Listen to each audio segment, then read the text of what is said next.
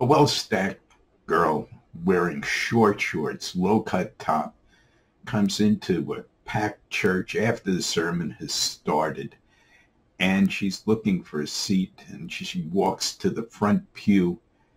All the parishioners are staring at her. There's, you can hear the, the people talking, heads are turning. The minister is really upset that people aren't paying attention to him. And after she gets seated, he points his finger at her and he says, Young lady, do you realize that Saint Finger is pointing his Peter at you right now?